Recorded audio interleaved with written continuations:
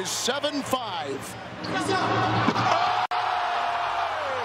You dunk over Tacko, you win. Yeah, you right. win.